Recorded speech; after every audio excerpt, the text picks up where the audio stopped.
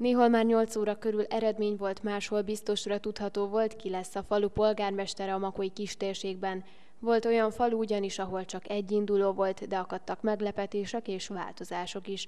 Több helyen új polgármester ült a vezetői székbe mától. Ambrus falván ketten indultak a polgármesteri posztért, Mitykó Mátyás és az előző ciklus polgármestere Perlecki Béláni. Utóbbi a következő öt évre is elnyerte a választó polgárok bizalmát.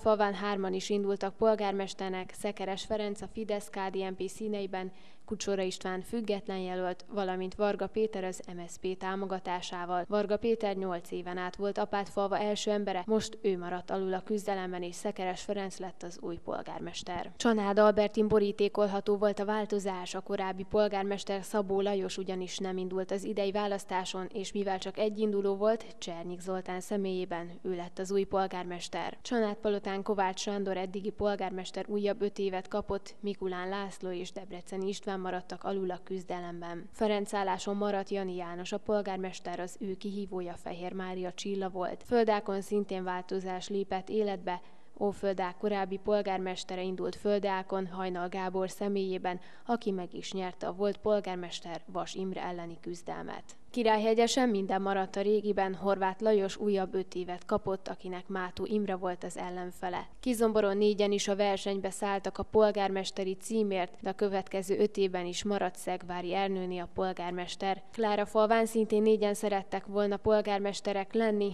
Fodor Melinda, Kovács Istvánni és Pápai Mátyás voltak a kihívói Fekete József, a volt és jelenlegi polgármesternek, hiszen a szavazók továbbra is nekiadtak bizalmat. Kövegyen továbbra is Galgóckinék Robák Novák Mária vezeti a falut ellene négyen is a versenybe szálltak. Magyar csanádon is változott a polgármester személye, Guba István korábbi polgármestert Farkas János váltja, mellettük Balogh Csabáné szállt küzdelembe. Maros Lelén elsőprő fölényel 80%-os többséggel nyert dr. Martonosi György Dömösi Lászlóval szemben, így tehát ott minden maradt a régiben. Nagy Irán továbbra is Lőrinc Tibor maradt a polgármester, hiszen neki nem volt kihívója. Nagy Gyarmati András maradt a polgármester ellen, még két személy, Varga István és Locskai Zoltán indultak. Óföldákon Hajnal Gábort, Simon és Sinkó Erika váltja, akinek csak egy ellenfele volt Vas Józsefné személyében. Pitvaroson az előző ciklus polgármestere maradt a következő öt évben is, Radó Tibor személyében, akinek csak egy kihívója volt, Léka János.